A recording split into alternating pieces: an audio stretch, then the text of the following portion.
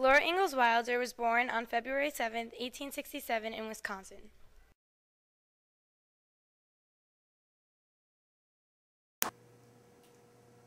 Hi, I'm Laura Ingalls Wilder. Right now, I'm standing on the prairie where I used to play when I was a young girl. My parents' names are Charles Phillip and Carolyn Lake Ingalls. I was the second of five children.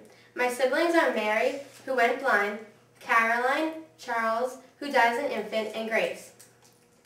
During my early childhood, my father settled on land that was not open for homesteaders yet. After a few years, we moved to Walnut Grove, Minnesota.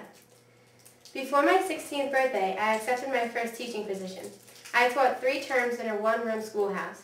My teaching career ended when I married Almanzo Wilder.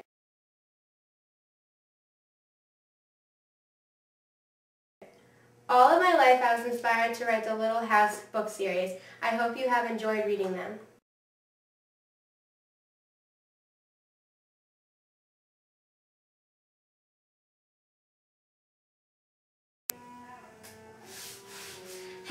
As you know, I wrote many books, the Little House series. I am standing now in front of the Little House in the Big Woods, which was the setting for my most famous book.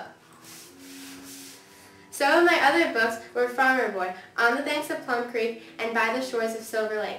I took everything from my childhood and put it into my books, such as chores and how I spend time with my whole family.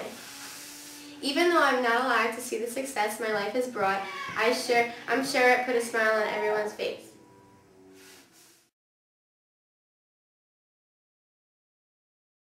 Laura Ingalls Wilder died on February 10, 1957. Hi, I'm Hannah Seltzer and I played Laura Ingalls Wilder. I hope you all enjoyed watching it.